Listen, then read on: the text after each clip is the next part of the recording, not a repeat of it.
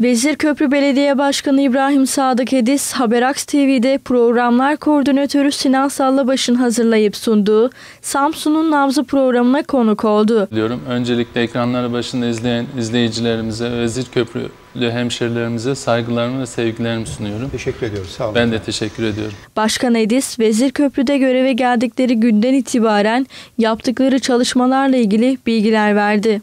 Tamamlanmış projelerimiz var, devam eden çalışmalarımız var. Bunların arasında kültür merkezimizi e, söyleyebilirim. 4000 metrekarelik bir kültür merkezi yaptık. Faaliyete geçti tabii, zaten tabii.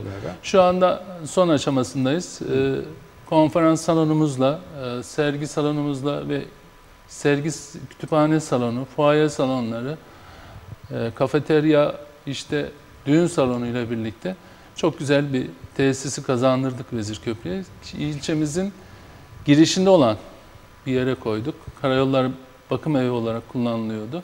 Biz burayı e, karayollarından alarak 2012 yılında, 2013 yılında başladık.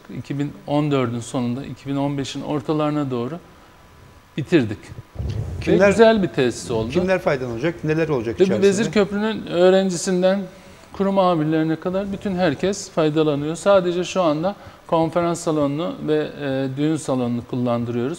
Diğer salonlarında inşallah önümüzdeki Ekim ayı 15'inden itibaren açacağız. Göl beldemizde, Göl beldemizde 52 adet iş yerini Göl mahallemize kazandırdık. Burada hem kapalı sebze pazar alanını oluşturmuş olduk hem de bu 52 tane iş yerini insanlarımıza kiraya vererek temiz bir nezih çalışma ortamını sağlamak.